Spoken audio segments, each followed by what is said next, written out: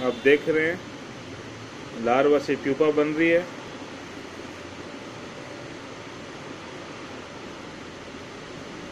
ये मच्छर की सेकेंड स्टेज है, लार्वा। वो आगे जाके प्यूपा में कन्वर्ट हो रही है थर्ड स्टेज प्यूपा में कन्वर्ट होगी।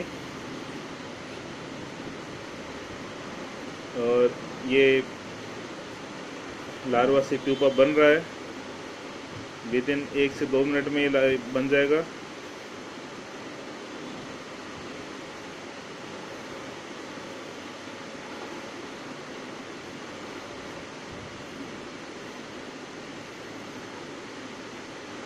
और ये हो रहा है।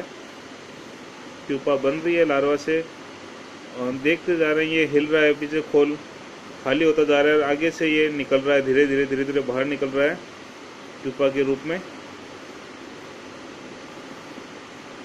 आगे से ये लार्वा का खोल फट चुका है। जैसे सांप अपनी केचली छोड़ता है, वैसे ये खोल छोड़ देगा लार्वा का और प्यूपा में कन्वर्ट हो जाएगा। देख रहे हम ये ये प्यूपा ने अपने मुँह से पकड़ लिया, आगे से जो दीवार को पकड़ लिया, और ये हमने खोल से फ्री हो गई है। और ये प्यूपा में कन्वर्ट हो गई है।